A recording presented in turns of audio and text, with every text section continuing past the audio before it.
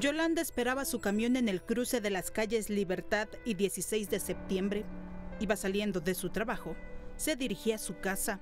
Traía puesto su uniforme quirúrgico.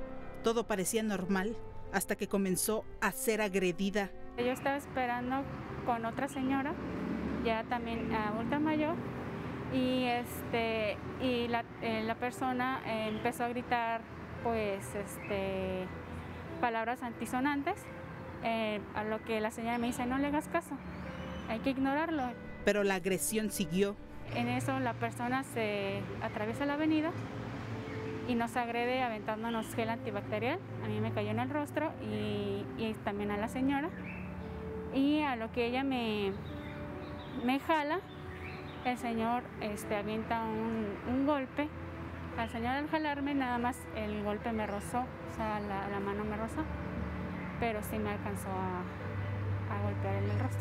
Al verla en esas condiciones y lastimada, pues optamos por sacarle rápido su parte de lesiones médico para que con esto fuéramos este, a levantar la denuncia. Son lesiones simples, mmm, son de las que no ponen en riesgo la vida, pero sí no deja de ser un delito. Por esta agresión, en la Fiscalía se abrió la carpeta de investigación 31.564-2020. Muy cerca del lugar donde se registraron los hechos se encuentra una cámara de videovigilancia, la cual será analizada para dar con el responsable.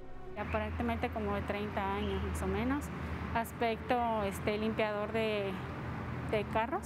Yolanda pide respeto para su trabajo. Por su parte, la Fiscalía, a través de su área de comunicación, informó que están investigando 11 casos de personal médico que ha sido agredido durante la contingencia sanitaria por el COVID-19. Con imágenes de Ángel Solorio, Fernanda Mejía, Azteca Noticias.